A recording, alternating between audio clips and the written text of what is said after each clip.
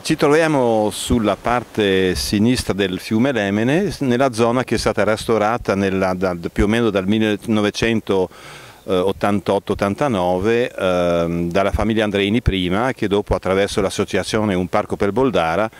ha trasformato questa zona che era completamente occupata dai rovi e senza alberatura, è stata prima restaurata un, per più o meno 25 anni questo è il tratto che è lungo più o meno un chilometro. Su questo tratto dopo abbiamo approfittato dei statuti di questa associazione per trasformare, per diciamo, dare un input culturale attraverso l'associazione Arte in Bosco e questo Arte in Bosco è ormai un punto di riferimento fotografico nella zona visto che attraverso questa associazione esponiamo degli autori che hanno il, la, la, la, bontà di regalarci i loro file che dopo stampiamo su Forex e queste immagini di autore a livello nazionale sia che internazionale eh, questi autori vengono esposti lungo la, la riva dell'Emene eh, di giorno eh, o di notte per tutto l'anno, addirittura di notte visto che eh, alcuni autori come Salbitani hanno voluto spingere l'originalità della, della, visita fino a chiedere delle lampadine tascabili per vedere la mostra di notte eh, in compagnia di una, una schiera di altri fotografi e di critici.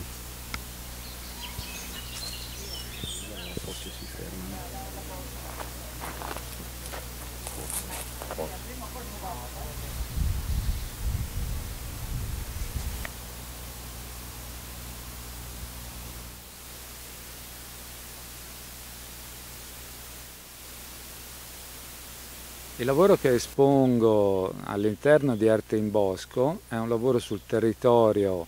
di, della provincia di Pordenone che va avanti da circa un anno.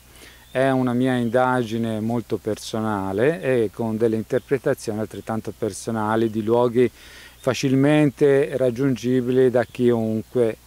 e che per me rappresentano diciamo, anche la, la sintesi di ciò che offre il territorio di Pordenone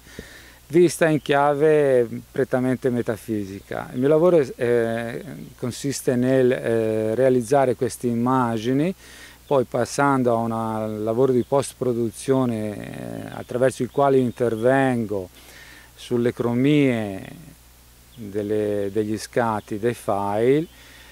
per eh, dare un'interpretazione come eh, a me eh, viene da questi luoghi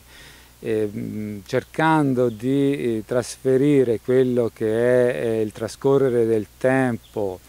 nell'arco della giornata e le varie situazioni di luce che si creano in questi luoghi, sintetizzandole in un unico scatto. Il bello di questa mostra diciamo, è che finalmente la, la pers le persone del paese hanno preso coscienza del, del, della ricchezza del territorio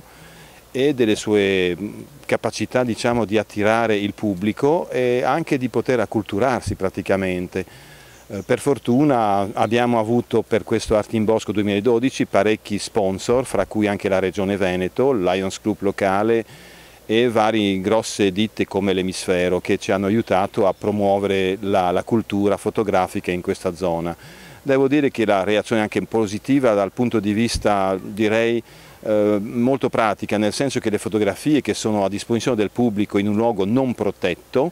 eh, non sono mai state né sfregiate né rubate, perciò la gente viene e mh, mm, si può osservare che se la gente entra su questo percorso senza motivazione particolare ha un atteggiamento anche diremo